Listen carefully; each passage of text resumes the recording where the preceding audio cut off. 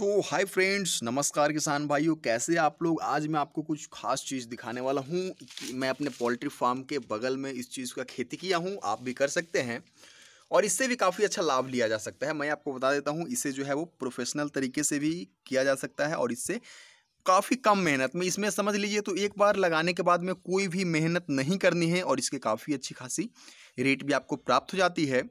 एक पौधा से लगभग आप पाँच के तक जो है वो एक साल में प्रोडक्ट ले सकते हैं। इसके नाम अगर आपको नहीं पता चली मैं आपको एक और पहले पौधा दिखा देता हूँ।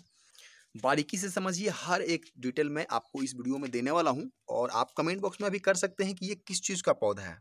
ठीक है, थोड़ा सा वियर्ड टाइप का ये पौधा है, लेकिन काफ़ी लाभकारी है। अगर पोल्ट्री फार्मर अपने पोल्ट्री फार्म के आसपास इसको लगा देते हैं तो कोई दिक्कत भी नहीं होगी और इससे काफ़ी अच्छा खासा मुनाफा भी कमाया जा सकता है।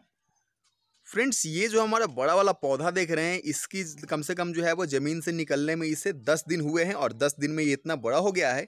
शुरुआती में काफ़ी बड़ा होता है, मैं आपको अपडेट देते रहूँगा दस से पंद्रह दिन बाद में आपको जो है वो इस तरह के इतने बड़े तक पौधे मिल ये जो है वो बड़ा पौधा देख सकते हैं, आप देख सकते हैं इसकी हाइट बहुत ऊँची है, मैं आपको बता देता हूँ। सबसे पहले मैं आपको बता देता तो ये है क्या चीज़, मैं नाम बता देता हूँ, वैसे तो आप किसान हैं तो आपको पता ही होगा, शुरुआती में इसकी जो है वो रफ्तार काफ़ी तेज़ रहती है और इसके जब पत्ते निकल जाते हैं, उसके बाद ये जो है वो धीमे हो जाता है।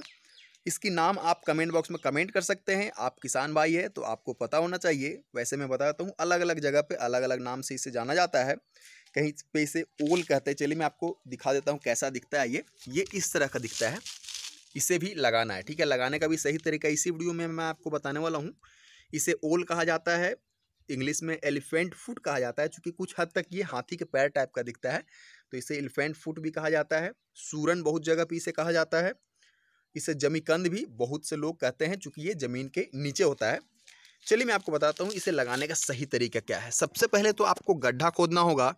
गड्ढे की अगर डायमेंशन की बात करें तो आपको जो है वो डेढ़ फीट चौड़ा और एक से डेढ़ फीट गड्ढा जो है वो खोदना होगा और उसमें अच्छे तरीके से खाद, गोबर या फिर पोल्ट्री फार्म का जो वेस्टेज रहता है, जो लीटर हमारा रहता है, वो सरा हुआ होना चाहिए। नया लीटर उसमें काम नहीं करेगा, वो सरा हुआ लीटर रहना चाहिए।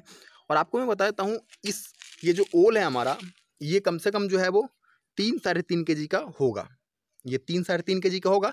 मैं आपको बताया तो और इसका पार्ट था, यहाँ हमने काट के इसे लगाया भाई छोटा छोटा जो है वो टुकड़ा आप बो सकते हैं। अपने खेत में, यहाँ काटा हुआ है। आप देख रहे हैं, ये आधा है, ठीक है? इधर से भी था, इसको जो है वो काट के लगाया गया है। काटने का सही तरीका ये है कि इसमें आप अगर ध्यान से देखेंगे, आपको मैं दिखाना चाहूँगा।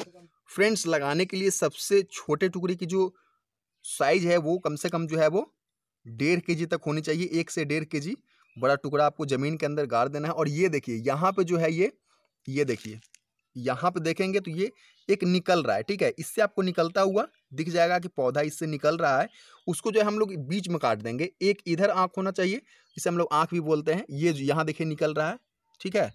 तो इस तरह से जो है वो ये निकलता है और यहाँ से जो है पौधा निकलेगा, फिर यहाँ से पौधा निकलेगा। और भी कहीं कहीं खोजेंगे तो और भी जगह से जो है पौधा निकल रहा होगा। तो आपको ये एक यहाँ पौधा है, एक यहाँ पे पौधा है तो आपको इसके बीच से काटना होगा। ये लगभग जो है वो तीन साढ़े तीन के जी का अभी मेरे पास बचा हुआ है तो मैं आपको बता दूँ कि इसमें दो भाग करना है आपको, डेढ़ के जी इधर और डेढ़ के जी इधर, एक से डेढ़ के जी का ये छोटा सा जो है वो कटिंग करना है आपको और उसके बाद में आपको आसानी तरीके से इसको जो है वो गोबर जहाँ पे खाद वगैरह दिए हैं, खली वगैरह दिए हैं, वहाँ पे इसको गार के मिट्टी डाल के और ये जो आँख है ठीक है? इसको कम से कम ज़मीन से, मान लीजिए ये ज़मीन है तो ज़मीन के कम से कम तीन से चार इंच नीचे रहना चाहिए।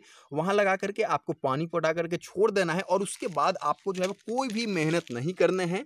बस सात से आठ महीने तक आपको वेट करना है। सात से आठ महीने में ये हमारा पूरी तरीके से तैयार हो जाएगा और ये डेढ़ के जी हमने लगाया था। अच्छे से अगर देखभाल करते हैं, वैसे तो इसकी कोई देखभाल करने की ज़रूरत नहीं होती है, इसको पानी फटाने की ज़रूरत नहीं होती है। शुरुआत के दिनों में जब तक ये हमारा जो जितना बड़ा पौधा मैंने दिखाया ये अगर ये अगर इस तरह का पौधा हो गया तो अब इसे जो है वो देखभाल की कोई ज़रूरत नहीं है। अब इसे जो है वो, इसको अपने हाल पे छोड़ देना है। ये सात से आठ महीने के बाद में अपने आप जो बाहर का ये पत्ता वगैरह है, वो सब बिल्कुल सूख जाएँगे और हम लोग को समझ में आ जाएगा कि इसको जो है वो अब ज़मीन से निकाल लेनी चाहिए। और जैसे ही ये सूखता है, उसको ज़मीन से निकाल लेना चाहिए। अगर नहीं निकालते हैं, फिर भी कोई दिक्कत नहीं है। अगले साल ये अपने आप जो है वो ज़मीन से आ जाएगा ऊपर और फिर वो जो है वो फिर से और बड़ा फल आपको जो है मिल सकता है। वैसे तो ये सब्ज़ी है, ठीक है? इसकी सब्ज़ी बनती है, आप अगर गाँव से बिलोंग करते हैं तो आपको निश्चित तौर पे ये पता होगा। तो फ्रेंड्स, ओल के बारे में हमने पूरी जानकारी आपको दे दी है, किस तरह से लगाना है, किस तरह से इसे हार्वेस्ट करना हर एक जानकारी आपको मिल गई है। उम्मीद करते हैं आपको ये वीडियो पसंद आई होगी। अगर कोई दिक्कत है या फिर आप जो है बड़े पैमाने पर इसकी खेती कैसे करें तो आप वीडियो के नीचे कमेंट बॉक्स में कमेंट कर सकते हैं, दोस्त। फिर मिलते हैं। तब तक के लिए नमस्कार। जय हिंद, जय जवान, जय किसान। धन्यवाद, दोस्तों।